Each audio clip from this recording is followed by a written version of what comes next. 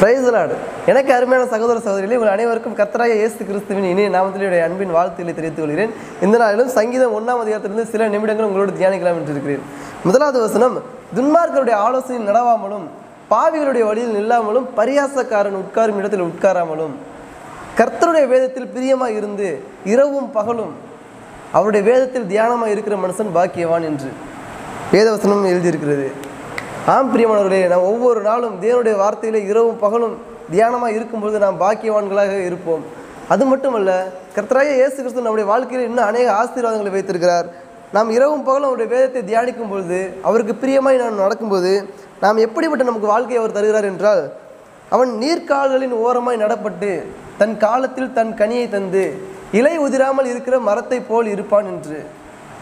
நீங்கள் கர்த்தராய இயேசு கிறிஸ்துவனுடைய கட்டளைகளுக்கு கீழ்ப்படிந்து அவருடைய வேதத்திலே பிரியமாக இருந்து தியானிக்கும் போது உங்களுடைய வாழ்க்கை எப்படிப்பட்டதாக இருக்கும் என்றால் நீர்க்கால்களின் ஓரமாய் ஒரு ஆற்று ஓரத்தில் நடப்பட்ட ஒரு மரம் எப்பொழுதும் எப்படி பசுமையாக இருக்குமோ அதே போல் உங்களுடைய வாழ்க்கையும் நீர்க்கால்களின் ஓரமாய் நடப்பட்ட மரத்தை போல எப்பொழுதும் அது பசுமையாக இருக்கும். அவன் செய்வதெல்லாம் வாய்க்கும். நீங்கள் கையிட்டு செய்கிற எல்லா தொழிலையும் கர்த்தராய இயேசு கிறிஸ்து ஆசீர்வதிப்பார்.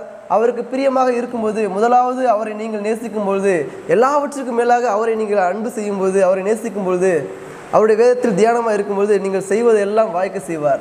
கர்த்தராக இயேசு கிறிஸ்துவே உங்கள் அனைவரையும் ஆசீர்வதிப்பாராக. ஆமீன். எனக்கு அருமையானவர்களே மேலும் இது போன்ற அநேக வீடியோக்களை வருகிற நாட்களே நீங்கள் காண நம்முடைய சேனலை லைக் பண்ணுங்கள் கமெண்ட் பண்ணுங்கள் ஷேர் பண்ணுங்கள் சப்ஸ்கிரைப் பண்ணுங்கள் தேங்க்யூ